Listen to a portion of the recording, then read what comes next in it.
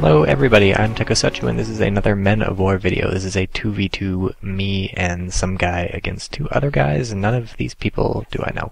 Um, this is on the Winter Church map, I think it's called. Uh, there's a church, I'll point it out later, and it's British versus American, so we're reenacting the Revolutionary War, uh, vaguely. And um, if you can read really quickly, you just saw the names of the people playing, but I didn't keep the score screen up for very long. And I am saying British things because I figured um, playing as the British, I should be saying British things. Uh, did I already say about a submachine gun squad? I guess I probably did, but these guys come with Sten guns. They're basically an iron tube that fires bullets. Maybe not iron, maybe it's tin. It's just a tube that fires bullets. It's a very simple gun.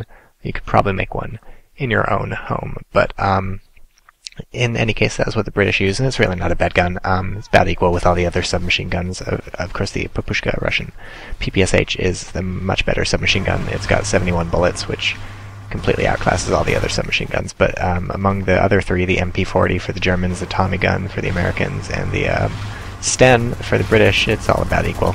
Um, so I buy Daimler AC right off the bat. Um, the choice is between that and a Tetrarch um, armored car. They're basically about the same. Daimler is a bit faster and it has much weaker armor, but they've got the same cannon. Um, I use this to mow down my opponent's infantry. Um, usually I like to buy a, a rocket launcher dude or um, a anti-tank rifle dude to deal with my opponent's vehicles, but lately I've started buying a light vehicle to deal with my opponent's vehicles. It's a bit risky because um, they can just as easily take you out as you can take them out, whereas with a rocket launcher or something you can hide in a bush. But the advantage is that it lets you mow down infantry, and this is good for me because I like to split my forces. You see I sent some infantry in the middle and some to the left. So I split my forces, and when my infantry on the left got owned, I still could take out his infantry, so that's good. Um, my opponent bought a Stuart it's a very light tank. Um, definitely more than a match for my Daimler.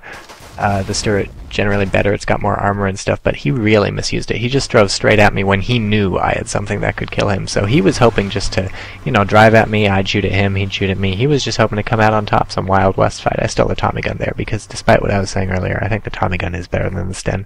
But, um, yeah, that was not tactical on my opponent's part. You want to be tactical in Men of War. This is a strategy game. You don't want to just drive at them screaming, okay? Um, I I will be probably the first person to endorse driving at them screaming. I think that's a fantastic tactic a lot of the time, but it didn't work right here because there was, I mean, there, there was no advantage to it. At least try and get the flank off, or at least try and scout me before you do that, because you're just driving into the unknown and hoping you pop the first shot off. Because even though the Stuart is better than the uh, Daimler armored car, um, they can each penetrate each other. It's really a whoever draws first, fires first, wins sort of Wild West sort of showdown. Um, already in this match, at least a few times, you've seen me loot stuff. I picked up a Tommy gun. I think just now I picked up some grenades and some bandages.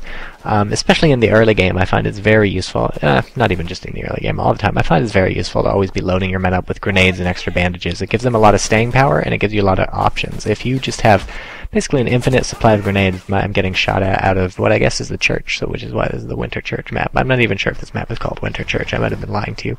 Um, it's it's more of a courtyard sort of thing. It's I don't know, it's mixed use residential housing plus church, interesting zoning laws right there. Uh, you see me trying to sneak around. I was trying to get the drop because he's he's hunkered down behind this wall. We're hunkered down behind this wall, although of course at this point we're mostly dead bodies. So I figured, hey, I'm gonna sneak around and totally get the drop on him.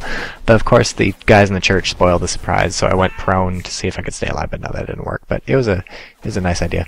Um, yeah, I find salvaging grenades and medkits gives you a ton of staying power if you just pick those up whenever you have some free time. My ally demolishing this building because there were people in there.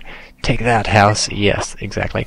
Um, although now they look at it as more of a country lodge than it is a house. I don't think anybody lives there except like maybe the proprietors and then people like rent out rooms. But um, uh, salvaging medical bandages and uh, grenades gives you a lot of staying power, not just obviously because the medical bandages will let you heal yourself in the lull and stay alive longer, but um, grenades give you tactical options where if you're hiding behind a wall, you're pinned down, someone's shooting at you, you can just lob a grenade over, and you don't have, even have to worry about like saving it for a good time. I don't know what he was doing with his bazooka man there, probably trying to flank my um, Daimler armored car, but he was just standing out in the open. So he's on fire now. Um, isn't that special? So I am immediately going to run over to that bazooka man and take his bazooka because a bazooka is a terrible thing to waste. Um, but yeah, if if you can just salvage grenades all the time from dead bodies, especially allied dead bodies or even your own dead bodies, um, it just gives you a lot of tactical options. And whenever you're feeling threatened, you can just chuck a grenade. It gives you a whole lot of breathing room. You'll find your men stay alive much much longer than if you uh, had to resort to shooting people. Um, I get a few flames off. My plan was to really torch this whole place, but unfortunately my opponent is one step ahead of me, has some people in this building, and just catches me unawares, shoots my men out. That could have gone a lot better. Flamethrower is extremely deadly in the middle uh, area. You might have seen a match long ago I shoutcasted where me and Lollybo were doing a 2v2. We were playing Japanese. One of us bought the flamethrower APC sort of thing. The thing's got five flamethrowers, drove it into the middle. Oh my god, it was carnage. And see, here again I steal grenades, and um, medkits, and I immediately start using the grenade. Oh, over here I'm stealing a bazooka. I immediately, so I get him into a bush, obviously, so I, he'll be safe. I immediately start using grenades to chuck it over. Um, you said chuck one grenade, that's not enough. I chuck another grenade because I know there's so many people there, and even now I'm taking even more grenades. Um, and I, it certainly pays off. He's forced to, uh, he has to assault us. He couldn't take a breather and just hit, hide behind that wall. He had to keep running at me, and he paid for it in lives, which is um, moderately expensive not super expensive. I mean, you can't like charge lives to a credit card, but um, on the other hand, you can make more just with babies. Oh, and picking up more stuff. You see, I'm always picking up stuff. So here's my rocket launcher dude. I was contemplating attacking that AT gun that you might have gotten a glimpse of with this guy because he's already behind enemy lines, but I decide that a bazooka is a terrible thing to waste, and, you know, I want to keep that around for when an opponent's tank shows up or something, because that can penetrate even the strongest armor. That can penetrate a King of Tiger if you get it from the back or the side or something. Um, it's got some fantastic penetration, so instead to deal with that AT gun, I decided to just send another infantryman over to the right. And apparently at one point or another the AT gun destroyed my armored car. And uh, he's happy with his AT gun because you see the sandbags. Maybe you don't, maybe you do. There's those sandbags. He set those up, so he's gonna. His AT gun is really not moving. When you see people set up sandbags, nine times out of ten they're not moving. It's often I set up sandbags and then move just to mess with my opponent, but nine times out of ten people aren't gonna do that. So here's the tank I was waiting for. My opponent put that little red arrow, like, "Hey, watch out! There's a tank," and I'm like, you know what? I don't even care because I got a bazooka. It's not even my bazooka, but uh, boom.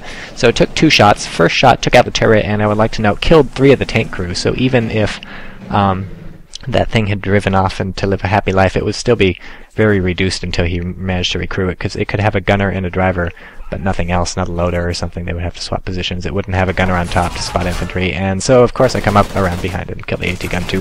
So, but in, any case, I killed the Sherman a second time. The hull is only crushed, not destroyed.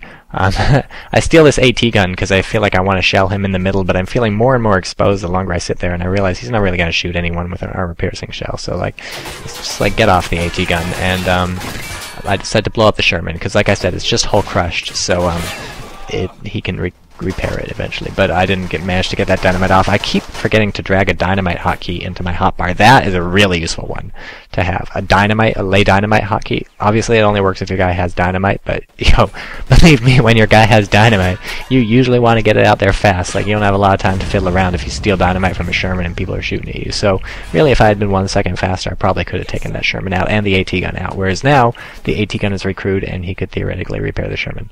Um, I'm going to toss a grenade over this house. I'm in direct control. I'm slightly worried it's going to hit the lip of the house, but, um, you know, I just risk it and throw it, and it manages to work, and that guy got fucked. Six ways to Sunday. They're not... I guess there are six ways to Sunday. There's Monday through Friday, and Saturday. I, maybe that's what that expression means. I don't know. I just say things without knowing what they mean. Uh, so I bought another submachine gun infantry Dude, the astute watcher will realize I have not bought anything except for submachine gun infantry, a flamethrower, and an armored car the entire game. And um, you have seen many a wide variety of tactics from me. You've seen me use a bazooka to shoot people. You've seen me set things on fire. You've seen me throw grenades over buildings and ledges. You've seen me steal AT guns. You've seen me try and lay dynamite. You've seen me um, sneak around to the sides and the back. You've seen me do all sorts of things, and this is just with three units. And frankly, could have been done with just one unit if I hadn't said the part about setting things on fire. And it can be done with two units if I had said the part about setting things on fire, because I haven't, didn't use my armored car for anything except shooting the Stuart and wiping out his first batch of infantry. And that's um, one of the actually big uses of armored cars, in fact, wiping out the first batch of opponent's infantry. Not a lot of people buy infantry right off the bat. I'm one of them. I bought a mortar, maybe you noticed. Um,